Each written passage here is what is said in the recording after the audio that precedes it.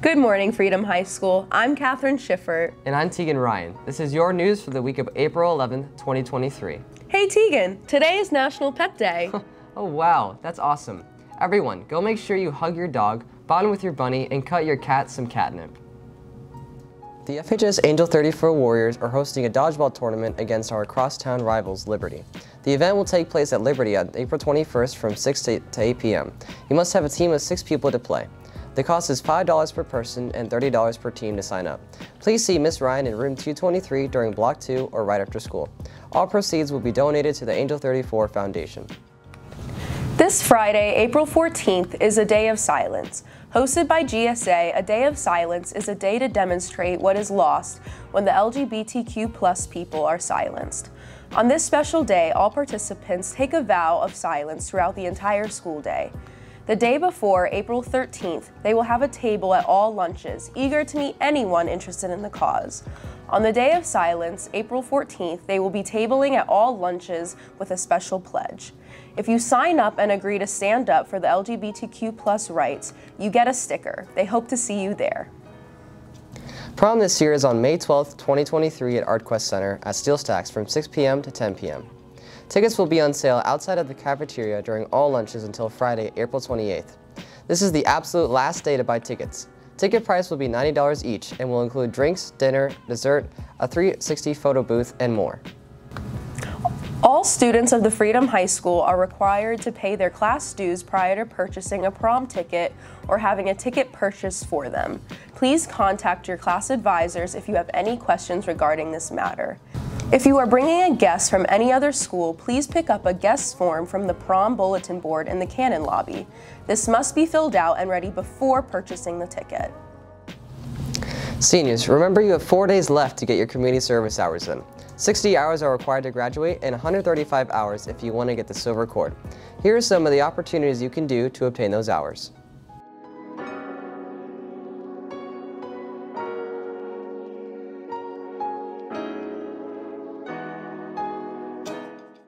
Hey seniors, do you want to be featured in this year's senior issue of the Freedom Forum? We want to highlight as much of the senior class as possible.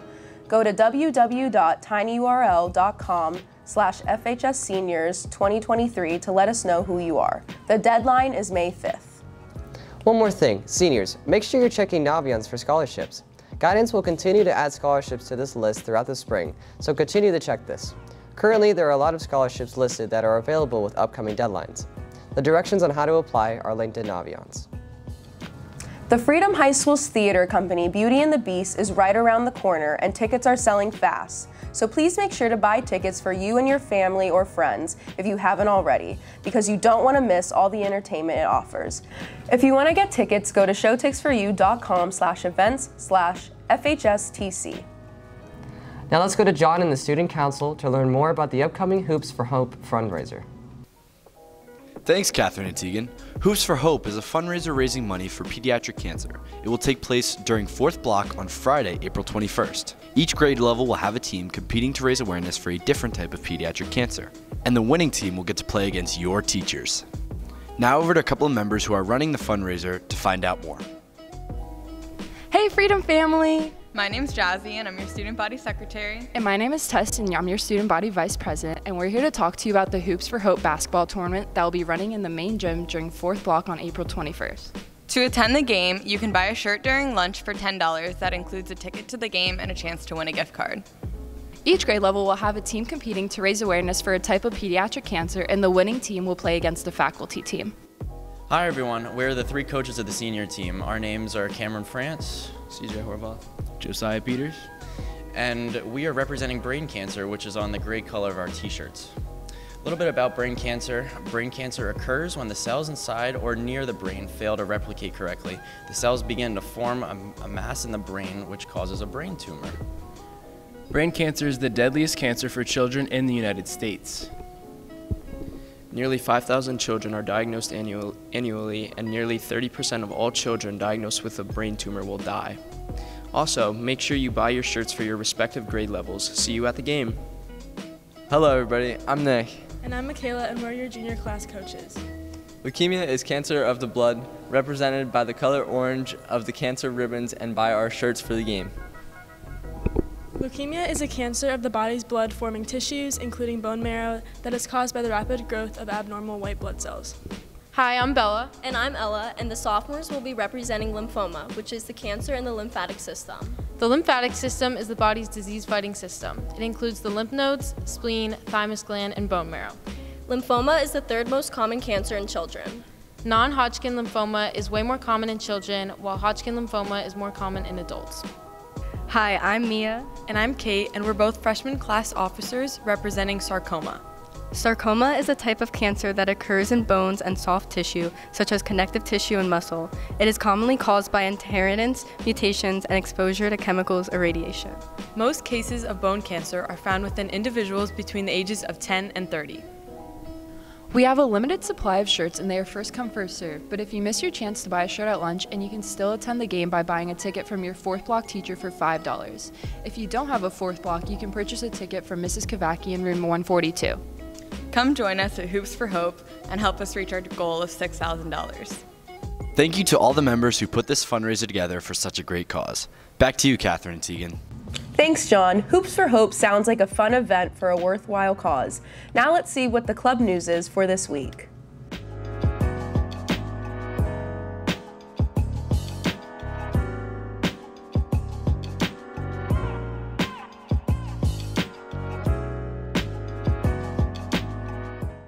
Clubs this week should continue as usual, but check with your club advisors to make sure. Now let's head over to Connor and Jake for our Freedom Pate Sports Update. Thanks, Catherine and Tegan. Welcome back to your Freedom Pate Sports Update. I'm Connor Stefanik. And I'm Jacob Schweitzer. Before heading into the scores, we want to shout out softball catcher Brianna Cole for winning Morning Call Player of the Week just two weeks ago. Cole hit a home run against both Pleasant Valley and Nazareth to help softball improve to 5-0. Then, this past week, softball knocked off Emmaus 7-6, with freshman Brooke Rummel going 2 for 3 with two RBIs in the win. Our softball team currently sits at 6-0 and on top of the District 11 rankings. Our boys tennis team remains undefeated at 9-0, rolling past all their opponents so far this season and sitting atop the District 11 rankings.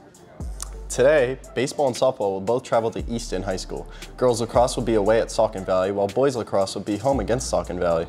Boys volleyball will be home against Whitehall. Tomorrow, boys tennis will be home against Northampton, and our track and field team will be at Nazareth. On Thursday, baseball and softball will play Liberty. Softball will be at home, and baseball will play at Coca-Cola Park. Boys volleyball will play at Easton. Boys lacrosse will be at Northampton, while girls lacrosse will be home against Northampton. Friday, boys tennis will be home against Moravian Academy, and our track and field team will be at Palisades High School. And finally, on Saturday, boys lacrosse will be home against Methacton High School. Boys tennis will be at Bethlehem Catholic, and baseball and softball will play against Northampton at home. The Freedom High School Athletic Banquet will take place on May 24th at 6 p.m. in the Freedom Main Gym. All athletes and families are invited. Check out me and John's podcast called Running Up the Score. It's out now on all podcast streaming platforms. Be sure to check out our Instagram, TikTok, Twitter, and YouTube. That's it for your Freedom Paid Sports Update. Back to you, Catherine and Tegan. Thanks, Connor and Jake. Now let's head over to Allison, who is interviewing Alexis Luter from the Marketing Music Fest class. Thanks, guys. It's Allison. And as you all know, the time to enter the Fame contest has come to a close. It's almost time to vote. I'm here with Alexis, who is here to give us more information. So, what's the update? Thank you, Allison. So, like she said, uh, the time for um, joining the competition has ended. So now it's time to get everybody together to vote.